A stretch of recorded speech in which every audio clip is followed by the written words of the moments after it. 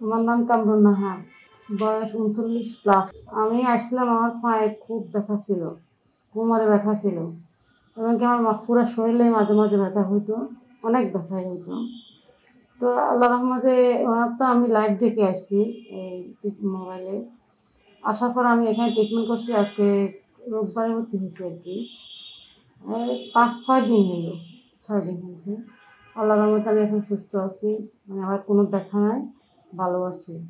আমার ব্যথাটা ছিল প্রায় তিন বছর, সাড়ে তিন বছরের মতো ছিল। আমি দেখিয়েছিলাম একটা ডাক্তার, তখন আমি অল্প ওষুধ খেয়েছি, ভালো- হয়ে গেছিলাম পরে এটা ভালো হওয়ার পর থেকে আজকে দুই মাস, তিন মাস আমার ব্যথাটা অনেক বেশি। সবচেয়ে খারাপ এটাই হয়েছিল যে আমি হাঁটুর জন্য হাঁটতে পারতাম না। চারতলা বাসাতে আমি নামতে, উঠতে আমার অনেক কষ্ট হতো। মানে আমি চারতলা উঠলে আমার একবার অস্থির। মনে হয় আমার মুখে আমার জিভে বের দেবে এরকম অবস্থা হয়ে যেত। আমার। এরকম ব্যথা ছিল আমার। পরে আমি আজকে দুই মাস ধরে বিছনায় পড়েছিলাম, পায়ে পানি এসেছিল আমার পুরো শরীরে মোটামুটি পানি ছিল। আবার আমার ফিটে অনেক ব্যথা ছিল যখন আসছি তখন। আমার ঘুম পাঁচ বছর ধরে নাই। গত পাঁচ বছর ধরে আমি ঘুমাইতেই পারতাম না। মানে ঘুম হচ্ছে না। আমার হয়তো বা রাতে এক দেড় ঘণ্টা ঘুম হইতো। আর আমার দিনে কখনো যদি আমি শুয়ে হয়তো এক ঘণ্টা ঘুম হতো ঘুমে আমার ছিল না। আমাকে সার বলছিল আমাকে পনেরো দিন লাগবে। এর মধ্যে আমার পনেরো দিন লাগে না।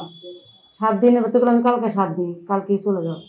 ডাক্তার বলছিল আমাকে চোদ্দ দিন থাকার জন্য, কিন্তু আমার চোদ্দ দিন লাগেনি সাত দিনে আমি আল্লাহর রহমতে সুস্থ হয়ে গেছি, ভালো আছি।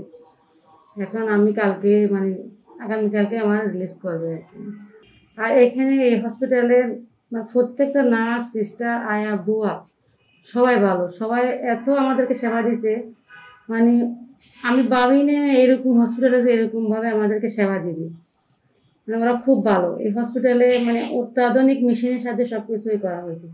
আর আমরা এত থেরাপি আগে কোথাও দেখিনি। আমরা অনেক থেরাপি সেন্টারে গিয়েছি এবং থেরাপি দেখছি, কিন্তু এরকম এত মেশিন এত যন্ত্রপাতি আমরা আগে আর দেখিনি।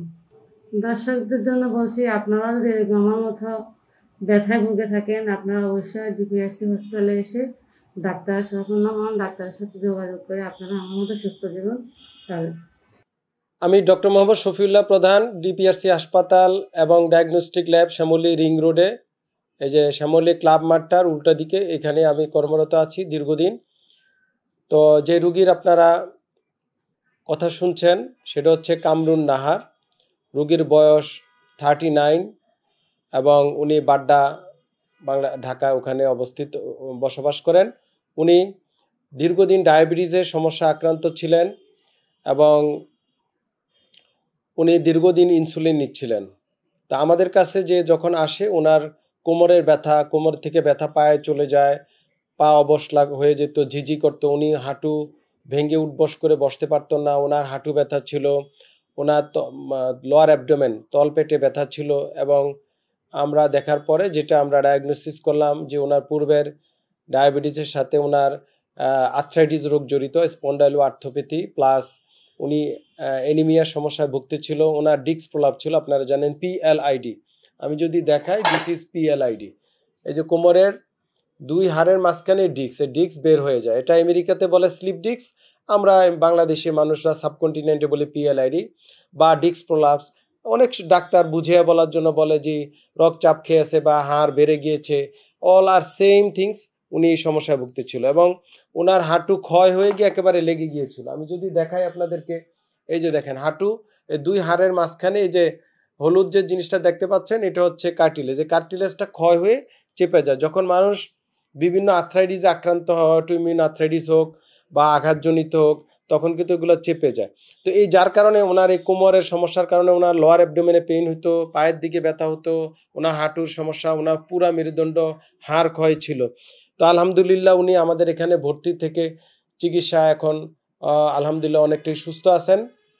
আমরা ওনাকে রিএসএস করে দেখেছি, উনি এখন বাড়ি চলে যেতে পারবেন। আমরা ওনাকে বিভিন্ন ব্যায়াম দিয়েছি। আমরা এখানে রেখে যেটা আমরা করি কম্বিনেশন থেরাপি বা কম্বাইন্ড থেরাপি বাংলাদেশে এই একমাত্র চিকিৎসা প্রতিষ্ঠান যেখানে আমরা বিভিন্ন ইলেকট্রোথেরাপি করে থাকি, বিভিন্ন এক্সারসাইজ বিভিন্ন সাপ্লিমেন্ট দিয়ে থাকি, যেটা আমাদের ডিপিআরসিতে এবং মাল্টি ডিসিপ্লিনারি টিম অ্যাপ্রোচ করে থাকি। এখানে আরও বিভিন্ন ডাক্তাররা দেখেন মেডিসিনের ডাক্তার দেখেন তারপরে অ্যানেস্থিশিয়ান ডাক্তার দেখেন পেইনের আরও বিভিন্ন স্পেশালিস্টরা আছেন, পাশাপাশি আমাদের একটা রিহ্যাব টিম আছে।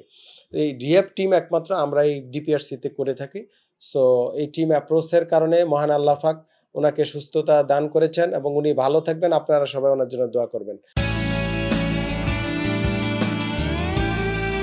আমরা জানি আপনার প্রিয়জন আপনার জন্য কতটা গুরুত্ব বহন করে। আর তাই সঠিক ডায়াগনস্টিক রিপোর্টের জন্য আপনারা আমাদের কাছেই আসে। আমরা বিশ্বাস করি প্রপার ডায়াগনোসিস কনসালটেশন পেইন ও প্যারালাইসিস চিকিৎসা, পুনর্বাসন আমাদের সব আয়োজনই সব সময় আপনাদের জন্য চব্বিশ ঘণ্টা খোলা।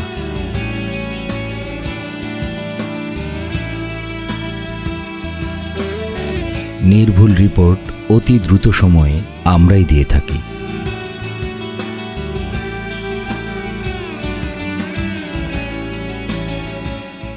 আমরা চাই না আপনারা বারবার আমাদের কাছে ফিরে আসুন, তবুও আমরা আছি সব সময় সর্বদা আপনাদের পাশেই। DPRC hospital and diagnostic lab, আস্থা, বিশ্বাস ও নির্ভরতায় অবিচল।